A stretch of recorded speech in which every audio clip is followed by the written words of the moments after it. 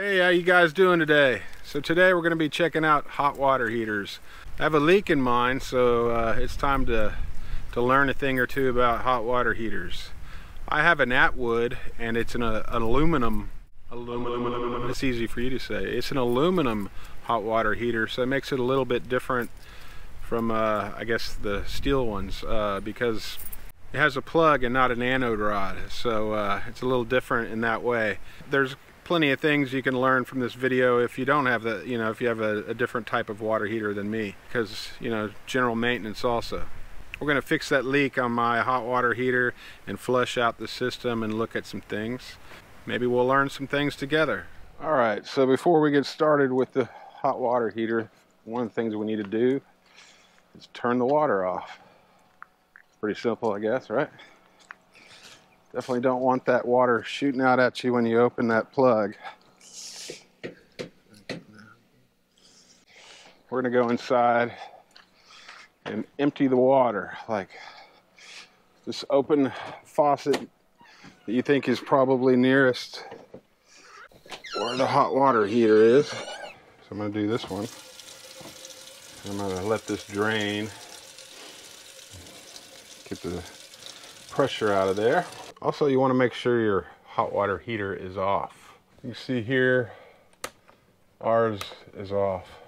All right, so now we're gonna come over here and open up our hot water heater. Well, there we go. And you can see it's been leaking pretty bad. You can see it's been going on for a couple of days because you see all the white streaks going down there on the side of the RV. Now you want to give it some time after you turn the hot water heater off for the water to cool off because you don't want hot water spewing on you.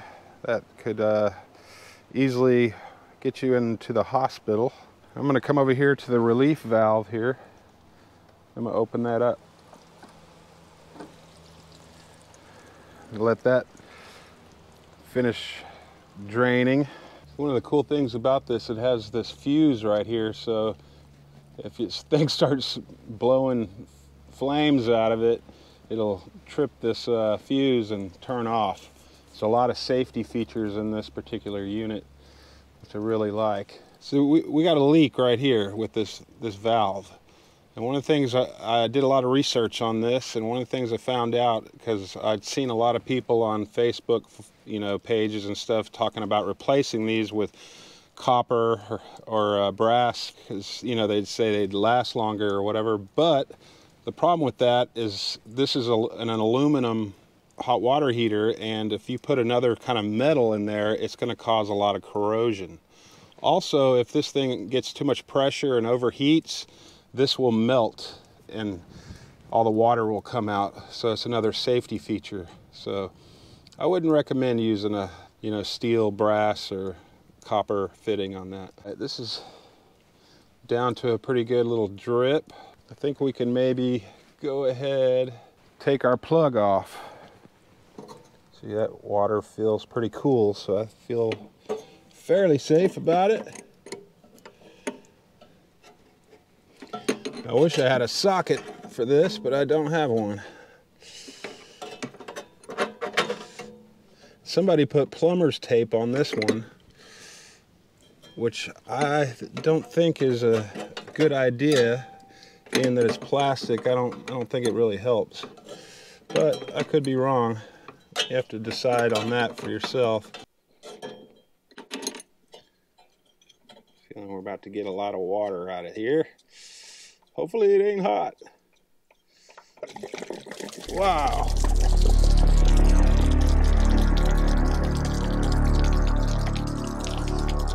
Amazing there's still that much water in there.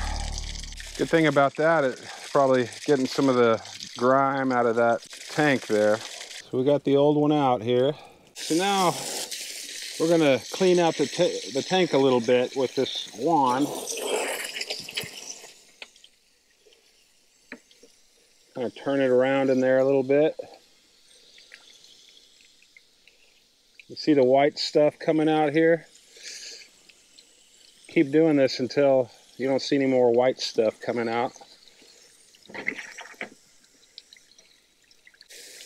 Use some more of that white stuff here. Those, I believe, are minerals from the water. And you don't want your tank coated in all these minerals. Probably gonna have to do this a couple of times at least. Oh, wow. There's a bunch of white stuff coming out now. Look at all this. I guess we got more to do, huh? We've been living full time in this RV for almost a year, and I haven't done this a single time. And from the research I've done, you're supposed to do this like once every other month or something. So, yeah, I really slacked on this. Wow. I need to remember to turn the hose off before I pull that out of there. This, this, is a little embarrassing, but uh, I discovered instead of coming up through the top like this, I came up through the bottom, it, it worked a lot better. So this is about our fifth time doing this and still some white stuff coming out and I'm just going to keep doing this until it's clear. Now we shall put this bad boy back in, see if it's still leaking. Try to snug it up as tight as I can get it by hand. Just a long socket with that I could turn by hand would be perfect. Come on. I'd say that's probably enough. I don't want to get it too tight, being that it's plastic. All right, now that we've done all that, we need to set the air gap for the top of the tank. So make sure this is still open. You know, it just flips right open. And then we're gonna go shut the, or turn the water back on. We should get some water coming out of this. This takes a little while for the water to build back up, but once you see the water coming back out like that, you go back and you turn the water off again. You let that go until it stops. It's getting there. Once that's a little dribble like that, you can go ahead and flip that back, just like that, and then go turn your water back on. Once you uh, turn the water back on, you go back inside and turn on one of your faucets, make sure all the air gets out of there, and then you come back here and you check for leaks. Hi, I just wanted to pop in and say hello. We're a fairly new channel and we need some help. Please subscribe and leave us some feedback in the comments below. Thank you. Back to the video. That's where I'm worried about right there and doesn't look like it's leaking so far. Looking pretty good. This is still dripping a little bit, but that's just from where the water was coming out. That's fine. I think before I turn the hot water heater back on, I'm gonna give it a little bit, give it some time to mess up. All right, so everything worked out. The leak is gone.